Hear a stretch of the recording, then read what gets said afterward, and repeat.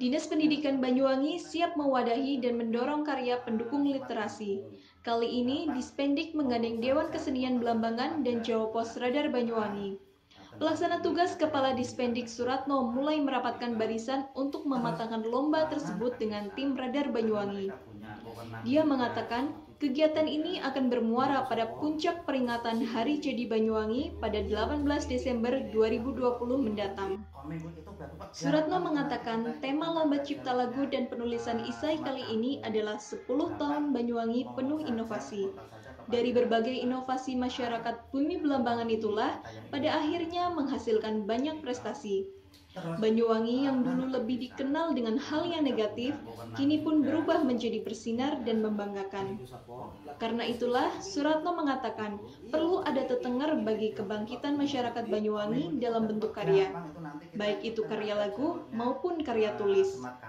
Sementara itu, Ketua DKB Hasan Basri menyebut baik kegiatan Lomba Cipta Lagu dan Menulis Isai tersebut. Hasan mengatakan lomba ini bisa menjaga tradisi berprestasi masyarakat Banyuwangi. Ide daripada Dewan Kesenian Belambangan bersama Raka dan Pendidikan ini sangat bagus sekali. Kita akui bahwa 10 tahun terakhir ini para seniman sudah diberikan keleluasaan penuh untuk berkreasi dengan pondasi tradisi yang ada. Nah ini Dewan Kesenian Belambangan ini bersama daripada teman-teman ini sebagai, sebagai salah satu lembaga yang memfasilitasi daripada para seniman yang berkreasi, berinovasi sehingga sekarang muncul Banyuwangi yang seperti ini yang dulu Banyuwangi tidak terkenal tentang seni dan budayanya bahkan maestro-maestro seni sekarang sudah muncul nah ini sudah di diapresiasi oleh uh, Dewan Kesenian bersama Raga. Nah dari kami di Dinas Pariwisata ini sangat mendukung dan bangga sekali terhadap uh, kinerja daripada Dewan Kesenian dalam rangka mengapresiasi daripada para seniman yang berkreasi dan berinovasi.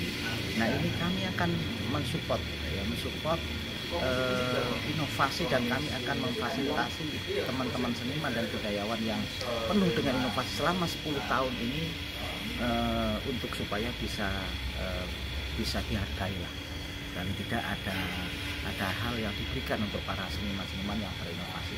Pemerintah daerah melalui dinas pariwisata eh, eh, memberikan memberikan penghargaan ya minimal paling tidak tiap tahun memberikan penghargaan kepada para. DKB Radar Banyuwangi dan Dinas Pendidikan Kabupaten Banyuwangi menyelenggarakan lomba dengan tema Sepu, Banyuwangi 10 tahun penuh inovasi. Jenis lombanya cipta lagu dan IC. Lagu terdiri dari e, Mars, bisa himne atau bisa lagu biasa.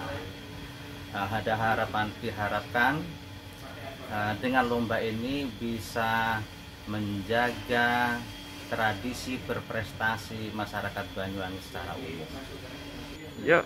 Sair lagu campuran bahasa Indonesia dan bahasa Osing kemudian durasinya dari intro sampai akhir itu maksimal 5 menit ya. Yuk. Dibuka mulai besok hari Senin sampai tanggal 4 Desember. Lagu yang pemenang menjadi pemenang akan ditampilkan pada puncak peringatan Hari Jadi Banyuwangi